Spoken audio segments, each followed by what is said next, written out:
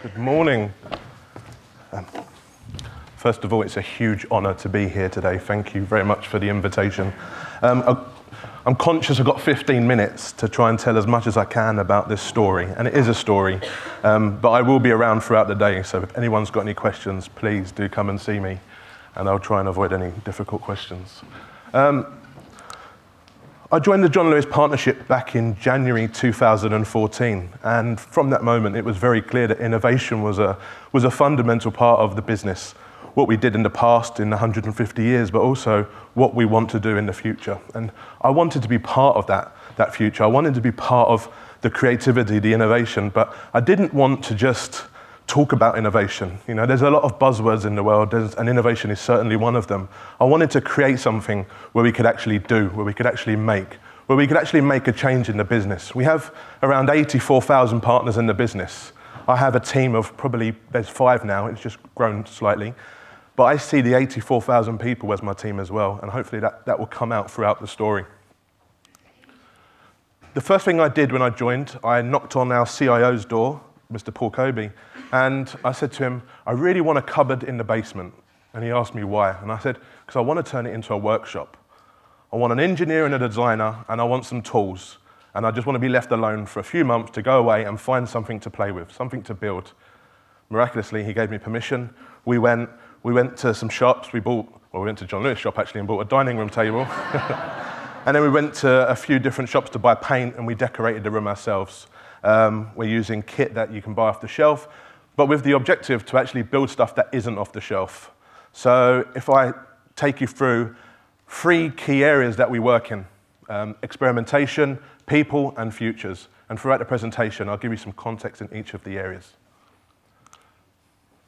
So to start an experimentation, back in March 2014, the I just hired a, a, an intern named Alex, and we was really passionate around, you know, let's, let's go out and how can we cause some trouble? How can we go and build something? How can we go and make something without getting fired?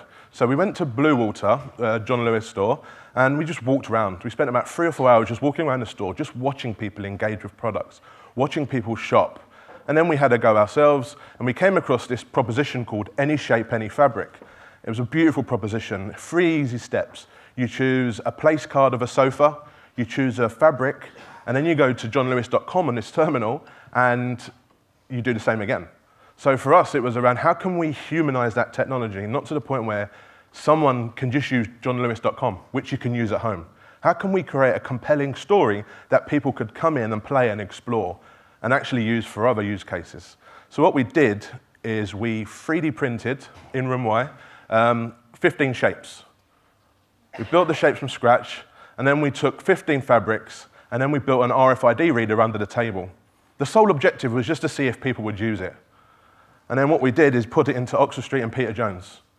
And in 10 weeks, um, so it took us about 10 weeks to build. In the 10 weeks it was in store, we generated 65,000 customer engagements.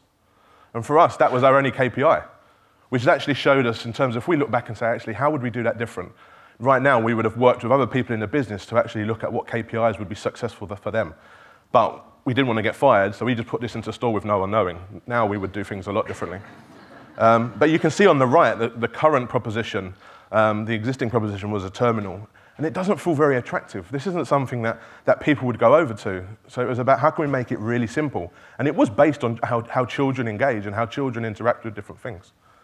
Just to give you some insight in terms of how we did this in Room Y, on the top left-hand side, you can see a Sylvanian family armchair that we bought for 20 pounds.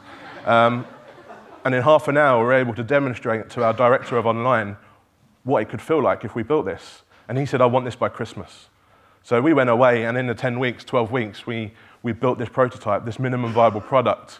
And I suppose the unique differentiator about having this team in, in the business is we can build the end-to-end minimum viable product. We didn't need to go to anywhere else in the business to, to manufacture the, the, the fabrics to actually help us with the UX. Of course, there's areas in the business that, that do that, but if you then want to, to rely on that group, you start to then spread out the time, and we'll probably still be waiting now.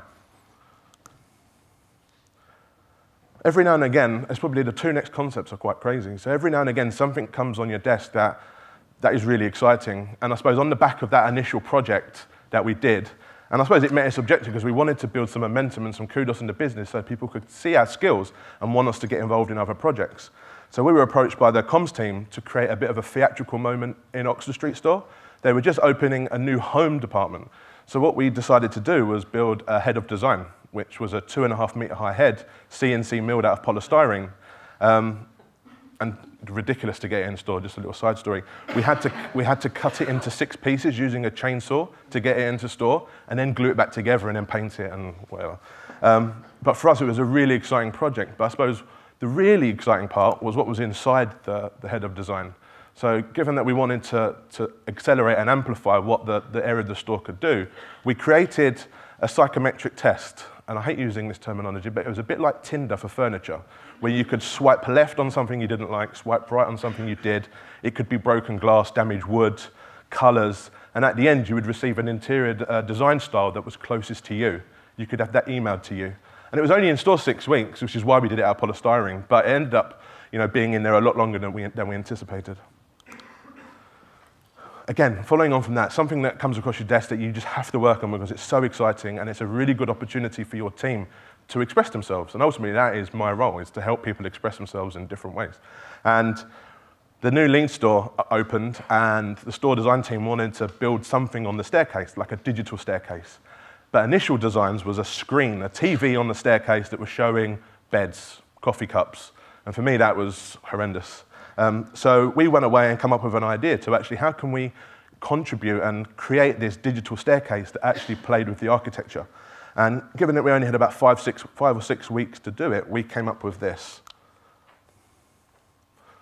So we, we, built, we did put screens on the staircase, but they weren't typical screens or typical content. It was an opportunity for us to work with an animator to tell a story across the wall. It wasn't about product or branding. It was just an opportunity to get something into store that was digital, to create a digital layer within John Lewis that you know, helped fuse the physical and the digital.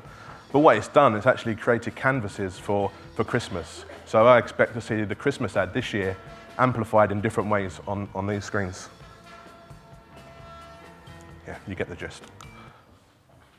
And also in February this year, you know, different advances in technology we're constantly monitoring, con constantly looking at how that can be relevant for us as a brand, but also for our customers. How can we revolutionize the way the customers engage with both brands? I've recently became futurologist for the partnership, so work across John Lewis and Waitrose. So that gives a, a broader landscape to work with. So we built a chatbot well, Tom, Tom's here somewhere, so he, he built this in the team in about 20 hours. So it was how can we, for Valentine's Day, create a way to accelerate the shopping experience? And it started to use different, different languages, different tones. I mean, emojis. You know, that's something that John Lewis probably would have never used. But this is something talking to different customers, talking to different people, and trying to create a different conversation. And it's not just all minimum viable products or prototypes. Everything we do, we would love to roll out to all 40 John Lewis stores or all Waitrose stores.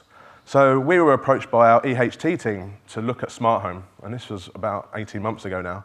And we went away and we come up with the idea of creating a thousand square foot of selling space and actually building different housing, uh, different houses styles within this space. So bedroom, uh, a front door, a kitchen, a lounge area, and actually building little theatrical moments in each of those areas to tell the story.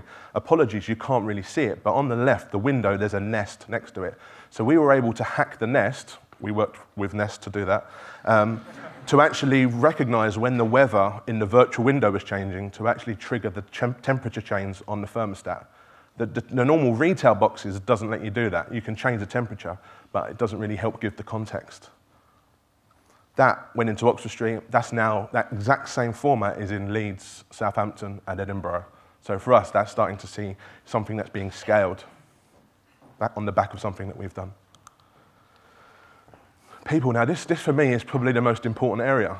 You know, in a business that has 84,000 people, it can never be the responsibility of three or five people to innovate.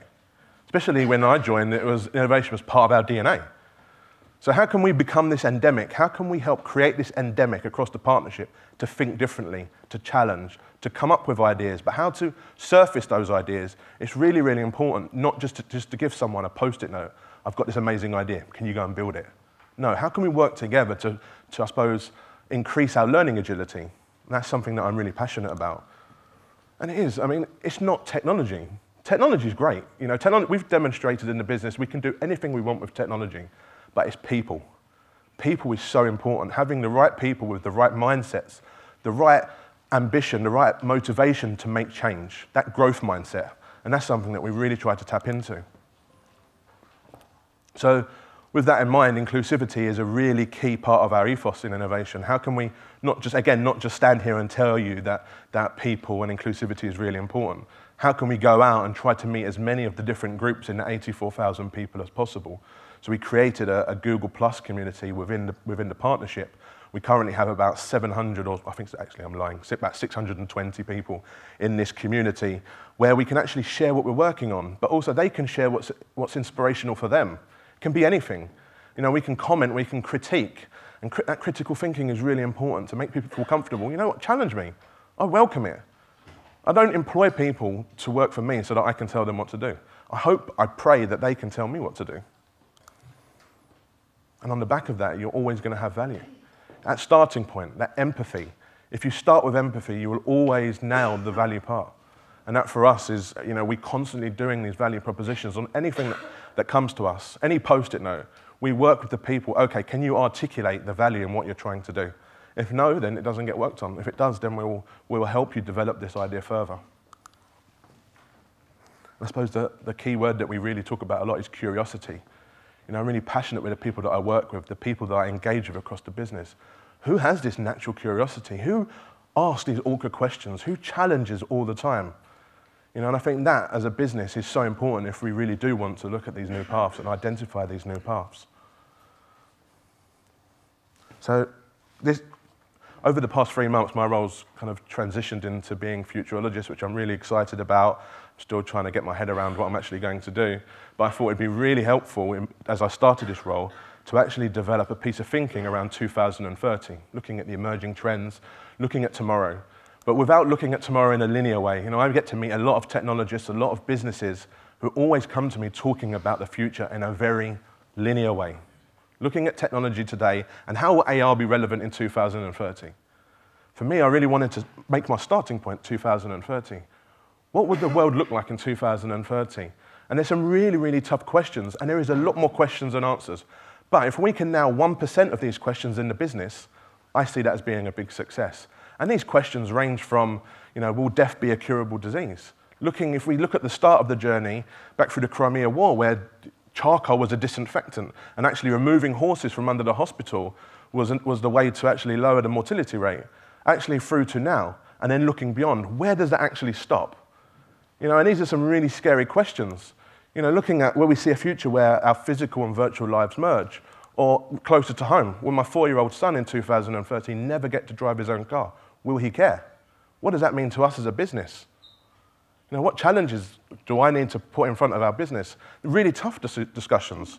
And again, the objective is to never get fired. So there is a, a strategy in the business, you know, looking at the future. And that, and that for me is, you know, a breath of fresh air. And I won't loiter too long on this because this is some of the thinking we're trying to bring together. And some of the big questions. Will we see a future where there's no smartphones? Yeah, all the pictures, I'll move on for that one. Um, so it's not just in this team. Innovation is, there is sources of innovation throughout the business and we want to bring that together. I'm really fortunate for me and my team that we own JLab. And it's a technology accelerator that's run for the last four years. So how can we get closer to, to the startups because you know, if you do work with startups in the right way, you can build a time machine, especially if you're working with them at source, understanding the problems that they're trying to solve. You know, depending on in, whereabouts in the world they are, you can actually see what will start to come, which is being built on customer expectations and vice versa. So you can start to get ahead of the, ahead of the trend. And on that, and my light's gone red, I was at South by Southwest in, in March, and this person said this, and it, and it couldn't be more closer to the truth and we have to explore, and especially a business with 84,000 people, you need that protagonist. And me and my team, we want to provoke that change, and we want to get people thinking differently. Thank you very much.